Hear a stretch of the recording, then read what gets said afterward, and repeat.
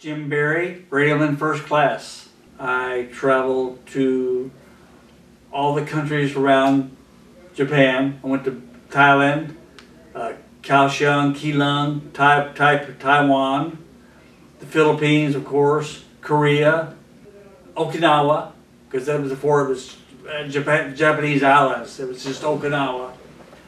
So, Japan, when I first got there, I fell in love with Japan right off the bat.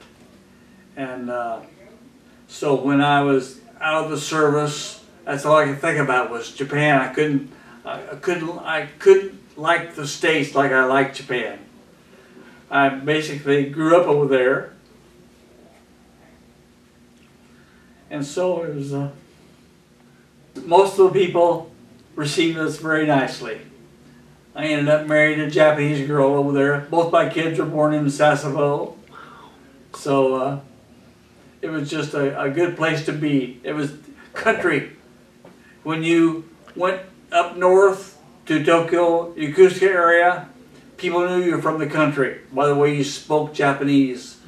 And uh, I didn't speak it fluent. I spoke it good enough to get along with no problem, you know. And they always say, "Oh, you're you're a country boy, aren't you? You're Sasebo boy." You know. Of course, the answer was yes, I am. But proud of it. I've been back uh, one time when I was on the USS Ogden.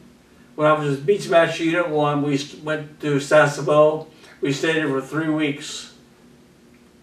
I took leave, stayed with my wife's mother and dad all the time I was there. And uh, of course, they speak nothing but Japanese, so it was, uh, it was quite an affair. A lot of fun, you know. Her mother, she loved drinking American beer. I always had a barrack of beer for her, you know, so. I to say I was in love with Sasebo is an understatement I was.